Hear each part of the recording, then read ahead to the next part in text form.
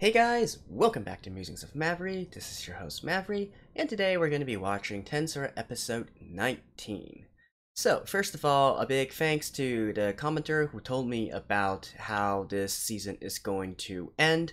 Um, I'm not talking about the actual story ending. I'm talking about how the episode 24 and episode 25 are essentially special episodes. So the actual anime, uh, the season of the Tensura anime, is going to end on episode 23. Uh, I didn't notice because I actually started watching this anime halfway through, so I didn't quite get that that news. So what this means is that, including this episode, we have five episodes left to wrap up the story. And apparently there's a whole nother arc as well right after this one. So it remains to be seen how they are going to pace this anime. Also, uh, you know, from personally, without knowing anything, I'm still holding on to the belief that probably this the conclusion of this arc will propel Rimuru to be at least on the same level as a Demon Lord, and maybe the finale of the season will end with him duking it out with one of the Demon Lords. At least that is my prediction for now. I it's a complete shot in the dark, but it would make sense, right? That would be a fitting finale to a season of anime.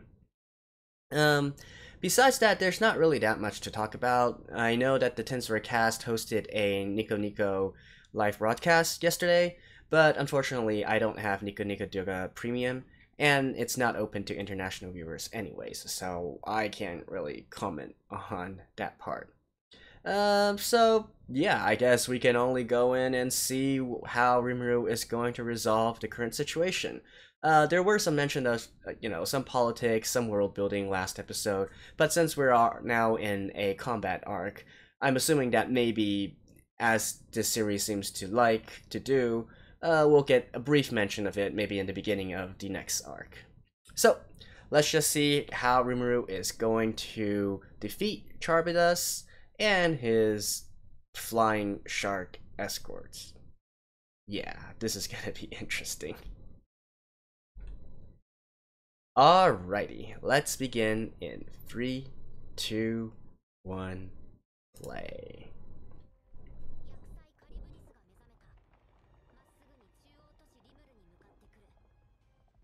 Is that like a cross between a whale with wings or something?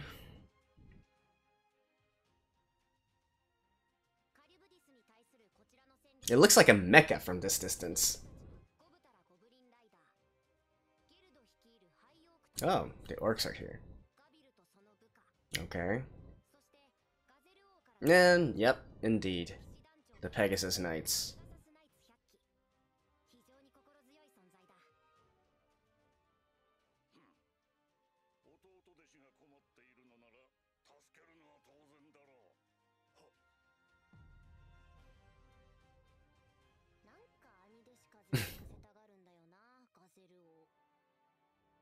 Oh, he is.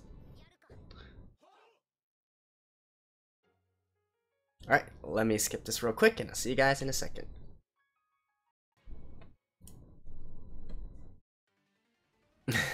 yep, sort of like a whale-shark hybrid. it looks so ridiculous.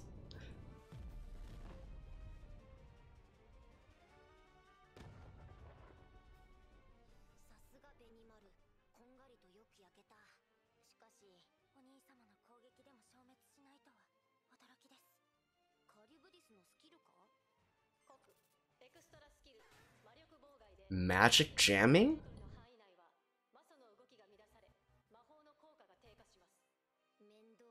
That's an... Um, that's quite a troublesome ability.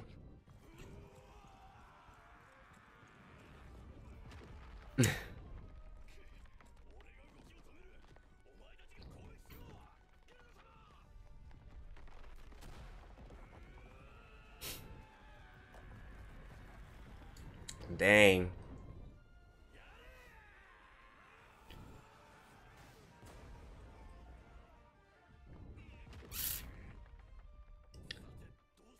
shark fin for dinner?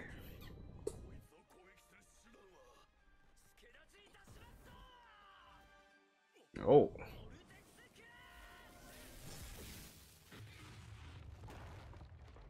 Really? One hit?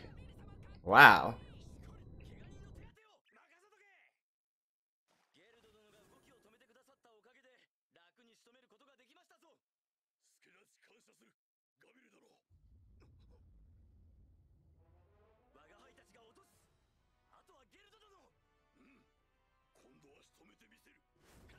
Ah, they're working together.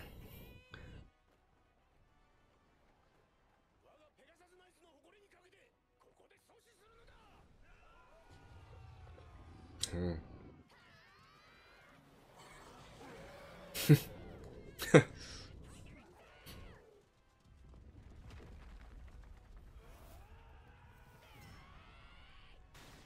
well, these sharks are quite stupid.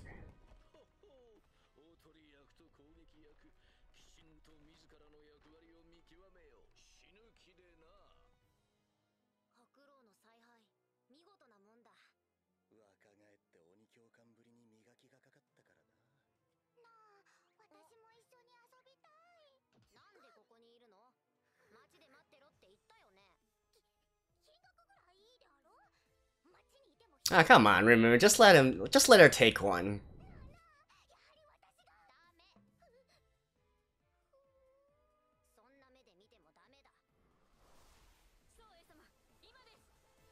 Ah.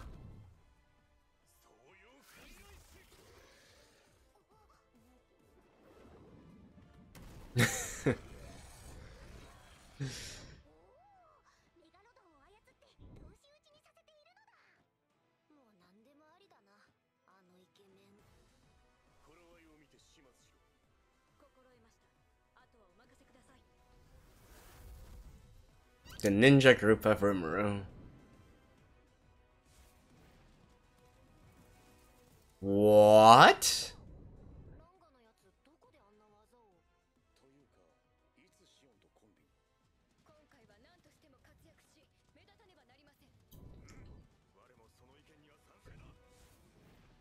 Guess Windwalker or something?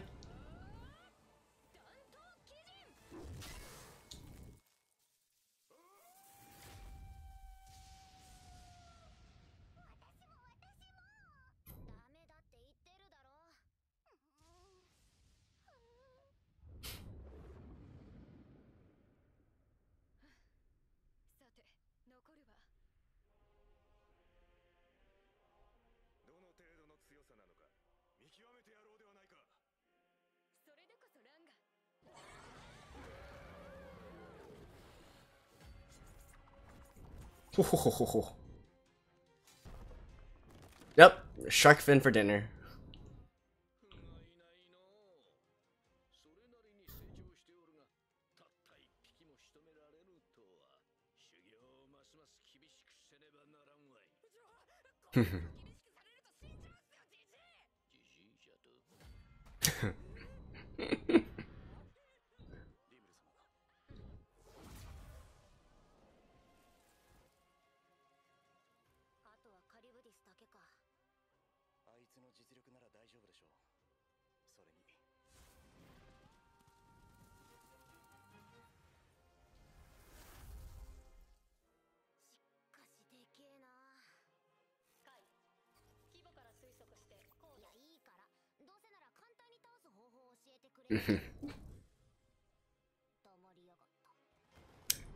hey, come on. I wanted to hear it.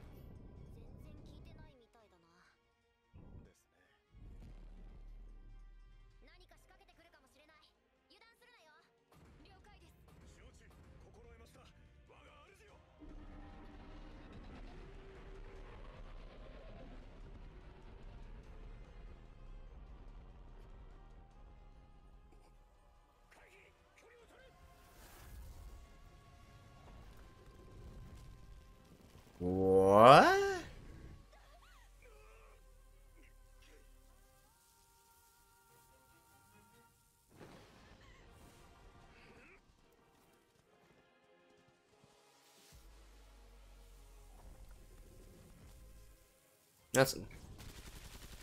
Hmm.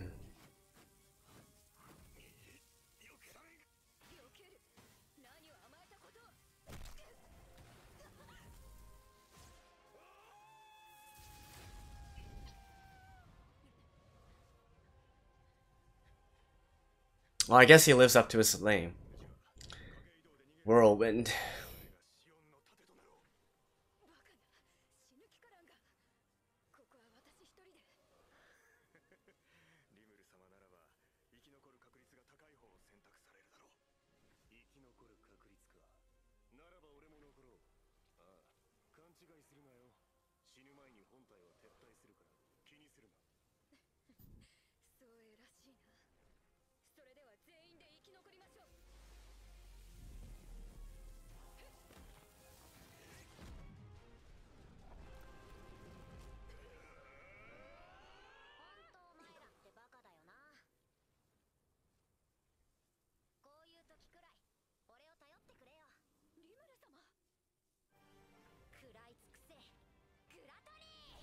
So?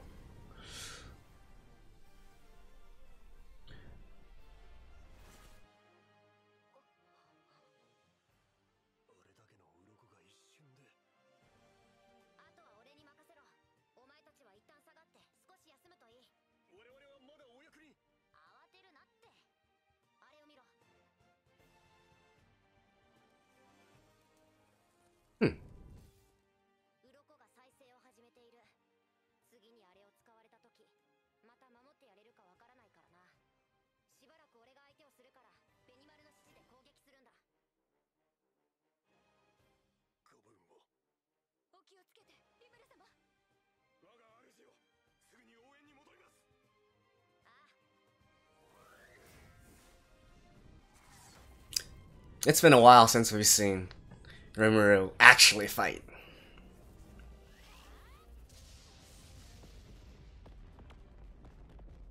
but seriously, this feels more like one of those bullet hell games. Ooh.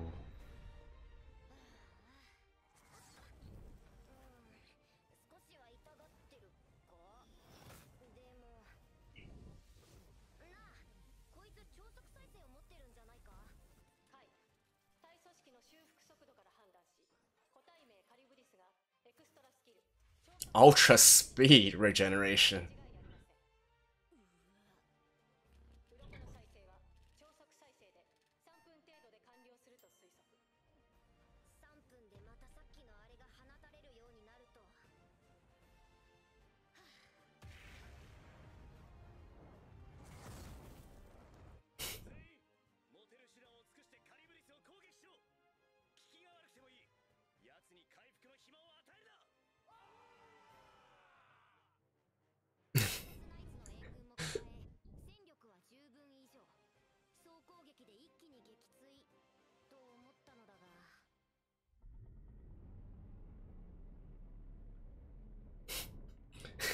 This seriously feels more like a mecha.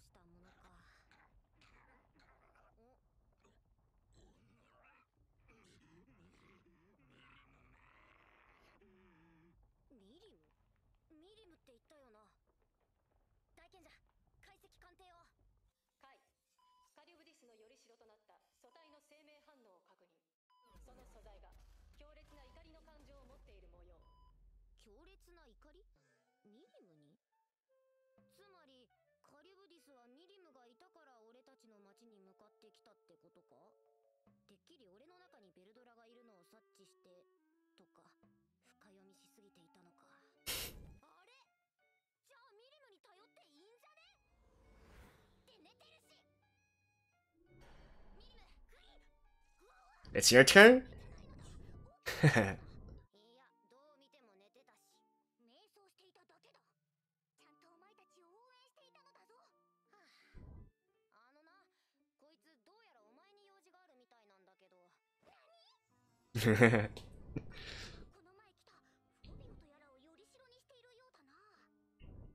Dang.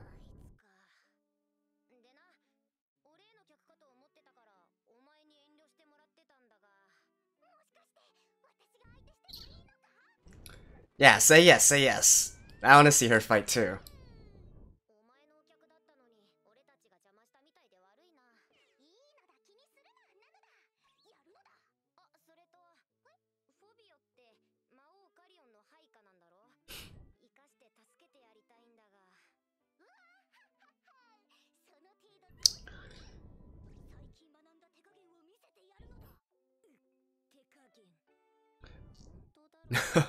Dang, is she really that OP?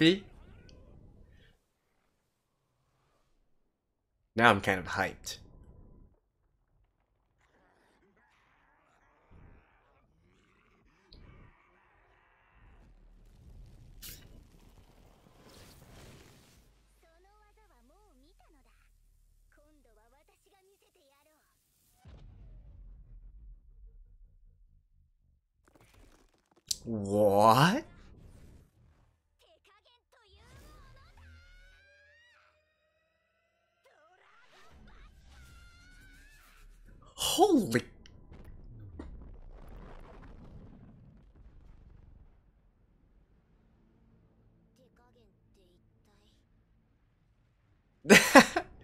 That was seriously more like a like a mecha anime or something.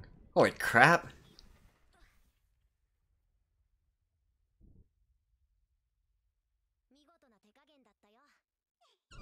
Dang. And cute as heck as well? I think I'm in love.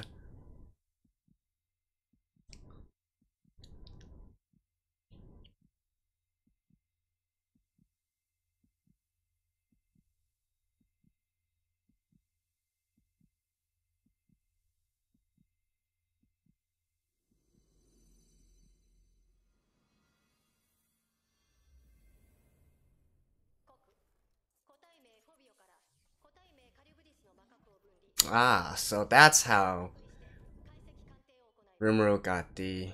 So he didn't really defeat it, but he still got the benefits. That's nice.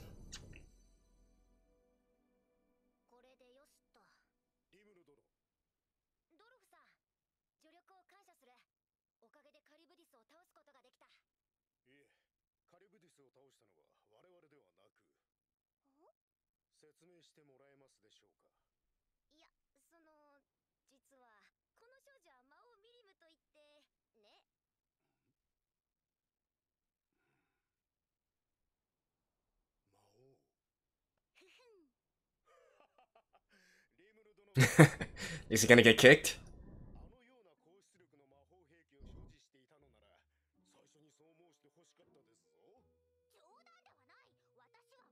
Hmm.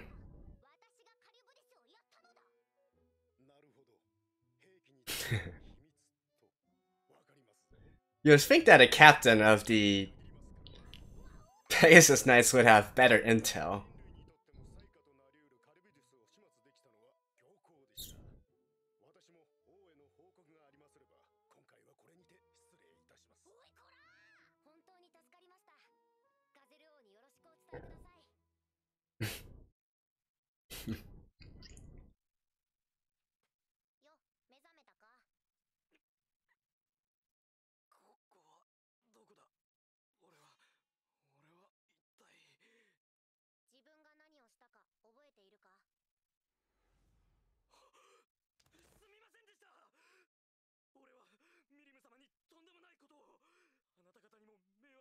しまったようでなんでこんなことをしたなんぜカリブディスの封印場所を知っていたのですか？偶然見つけたなどとは言わせませんよ。だそうだ。あはい。それは。Mm-hmm. ティアとフットマンと名乗る仮面の同型こんな仮面でしたか？いや俺の前に現れたのは涙目の仮面の少女と怒った仮面の太った男だった。So there's another mask.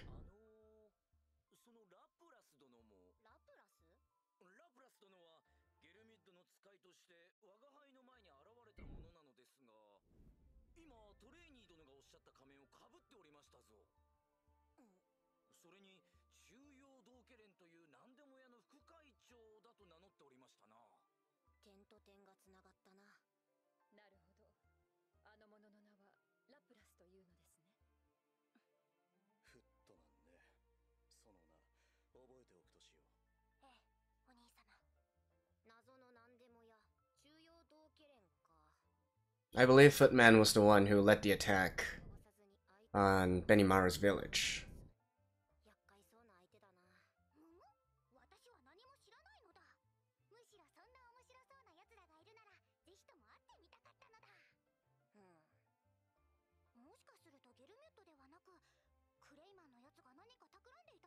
厄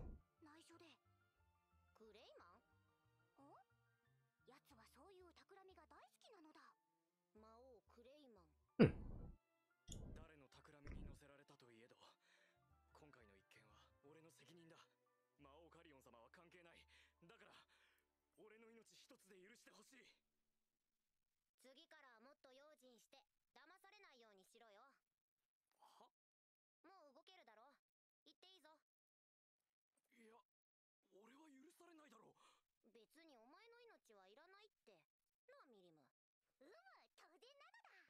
軽く一発くらい殴ってやろうかと思っていたが私もお隣の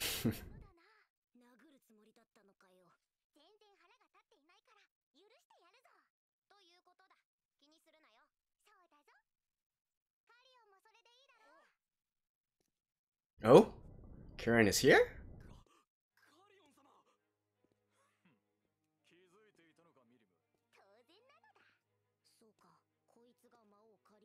カ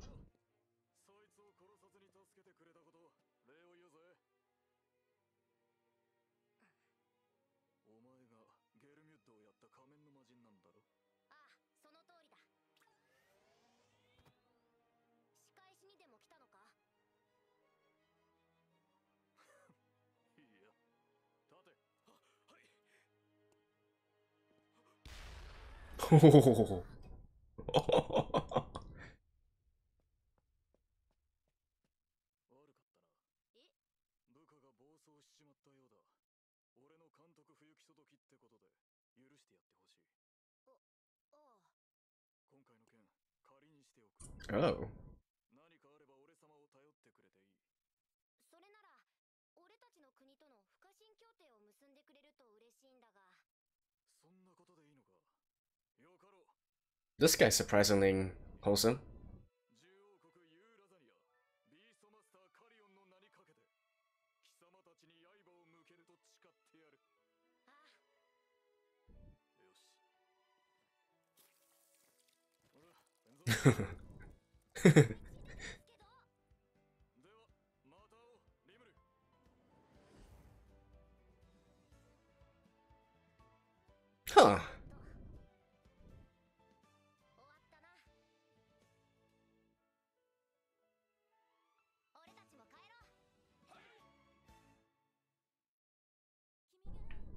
Such a wholesome anime. Jeez. And that, my dear viewers, was episode 19 of Tensura. I gotta say, although I did read a lot of the comments saying how this entire Charybdis arc isn't really a focus within the original work, with this kind of result, I have to say it's hard to argue with the decision to uh, make this thing a little bit bigger, right? Because this episode was hype. I mean, I don't get me wrong, I love my world building and politics and all that, but you know, every now and again, you just gotta have these kinds of episodes where you just go all out and just show viewers some cool stuff, right? And we did get a little bit of information here as well, right? At least, you know, for such a long time, it's always been, you know, this character doing, going off and doing their thing and so on and so forth. Now that everybody, everyone has gathered and is fighting in the same battlefield, we can actually get a good ranking uh, or a good understanding of the relative ranks of all the various characters. Not that we couldn't guess most of them, but it's nice to confirm, right? So obviously, all the Kijin are at the very top in terms of their fighting abilities, and Ranga as well. Um, I like that they each got their time to shine a little bit, though I guess Shuna really isn't going to be a combat character. All the rest, you know, love how they handled the situation. My personal favorite was still Hakuro, right? Maybe I'm just biased to, towards these swordsmen, but uh, I thought that his was the coolest. And if you guys have favorites, let me know as well. But at least for me, when I looked at it, I was just like, damn, what a badass. Uh, and then after that, you know, after the Kijin, we have Geld and Gabiru, right? Representing the orcs and the lizard man. Uh, I'd probably give the edge to Gabiru anyways. Maybe there's they are on equal level, but at the same time, Gabiru has the special weapon that he got from his father, so that might have pushed him over the edge as well. And then at the bottom would be Gobta.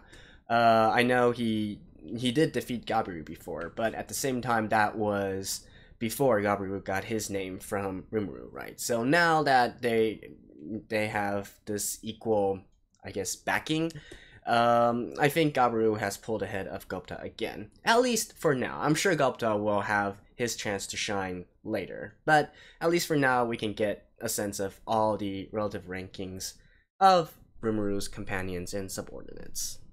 Um, besides that, I guess let's just talk about the Charybdis fight, right? Uh, I'm quite fairly certain that they parodied two different genres or tropes, right? One would be the bullet hell, uh, bullet hell games, where you know if you go to uh, classic arcades, they're the ones where they have bullets or enemy projectiles flying all over the place. Uh, I think it was especially prominent during uh, Rimuru's fight with Charybdis. Uh, that definitely seemed like a bullet hell scene to me with all these scales flying around and then Rimuru trying to get some hits in and then the eye also shooting out lasers. Yeah, that felt completely like a bullet hell scene. And also, probably it parodied uh, mecha series as well, mecha anime. Um, there is especially two parts to this, right? One is where uh, everybody did the all-out attack, or in general, when when lots of people were attacking Charybdis at the same time, you know, all those explosions in the background and stuff. Those look similar to what you would see in a mecha anime, and also during Milim's final, you know, I guess you wouldn't even call it final battle, but it was basically one hit KO, right? But that move that she used and how it hit uh, was also very reminiscent of uh, mecha anime or space anime in general. Um, by the way, Milim, oh man, I think I just found my best girl for this series. Like, you guys weren't kidding when you said that she was OP as hell. Like there's Rimuru OP and then there's Milim OP, right? Because literally the entire Rimuru team, including Rimuru, tried to tried to do an attack on Charybdis and they only managed to get what 30% of his HP, and then Milim basically one hit KO Charybdis. So yeah, not on the same level at all. In fact, if it wasn't for some people uh, who told me just how far up Milim was, I would be thinking that the whole Charybdis is on the same level as a Demon Lord thing was a lie, because that was not close at all. So, yeah, definitely new favorite, new favorite character, and you know, might maybe not even just best girl, but maybe even my favorite character from this series so far. But we haven't seen enough of uh from her yet, so I reserve judgment on best character. Uh, so yeah, that was the Charybdis fight. Uh, something I, I felt was also pretty interesting was how they, in some scenes, decided to animate Charybdis in 3D. Um, I'm actually not sure if that's deliberate or not. You know, a direct parody of these space anime or mecha anime that I'm talking about, because you know, there's plenty of other scenes where we see the entirety of Charybdis and it's entirely hand drawn in 2D. So there was really no reason for them to use the 3D models, especially since it happened like literally for only a few seconds. Normally when you take the time and effort to make a 3D model, you want to have you want to make sure that you can get lots of use out of it and because it's actually expensive to create a 3D model and it's only it only drives down the cost if you continuously use it. So there's lots of scenes where uh, it's action packed where if you try to do it with hand-drawn scenes or hand-drawn animation, it would take a lot of resources. And it's only in those scenarios where 3D animation would come out ahead in terms of saving cost and resource or saving time. Uh, so I'm I'm not entirely certain on this, but for now, I would say that it's probably because they probably animated it in 3D as a sort of parody to you know the two tropes or genres that I was talking about. Uh, so those were all the fighting scenes, and we also got to know a little bit more about the demon lords as well. So obviously Milim, we know that she is on a completely different level. Uh, we know that Clayman, we can confirm that Clayman likes to scheme a lot, and he likes to do these kinds of things. I'm not quite sure how he's going to react to this whole situation. I'm still thinking that maybe he just views this as something fun to do. I don't know yet, but you know, probably we'll find out next episode. And Carrion. I was not expecting him to make an appearance so quickly, and it turns out that he's he seems to be a pretty likable dude as well, right? Uh, sort of like the warrior archetypes, where you know battle with honor and all that kind of good stuff. Um, and another thing that was quite interesting to me was that when he decided to sign a non-aggression pact with Rimuru, which by the way I felt that he he agreed to that rather easily. Um, because having a personal you know personal debt to someone is one thing. Deciding the whole fate of your nation is another thing entirely. So probably that this was already something on his mind.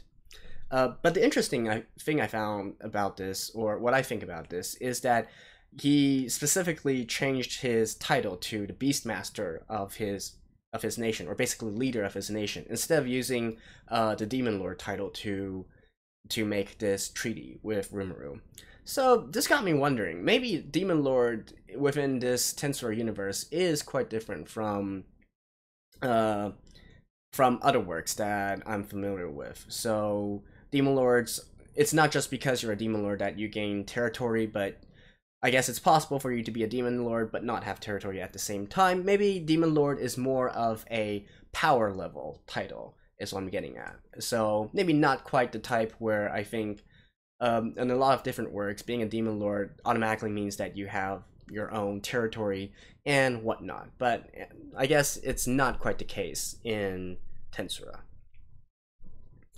So that about covers everything I want to talk about this episode. Um, again, I guess from ne- next episode on, we have four episodes left.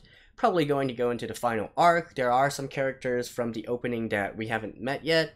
So probably it's going to focus on that part. And I guess one closing thought I have is this series is just so wholesome, right? I think that's that's the best word to describe this series right now, and that is wholesome.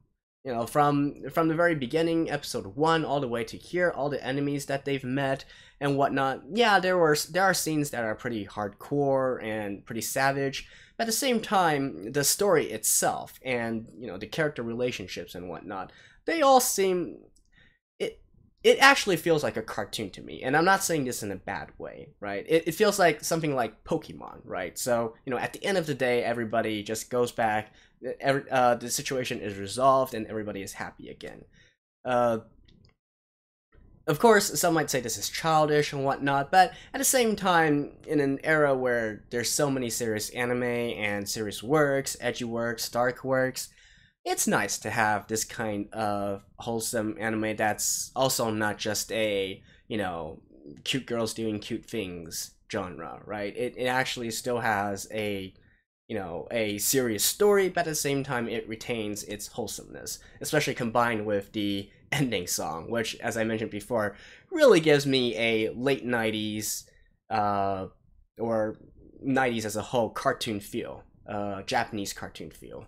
So, yeah, no complaints from me about this episode. Uh, so let me know if any of you guys who were worried about, you know, why they're concentrating on this episode, do you feel uh, more pleased now or satisfied now that you've seen that this episode was done in this way, or do you would you still prefer uh you know the original focus of the stories? At least for me, I thought this was a great episode, a great change up.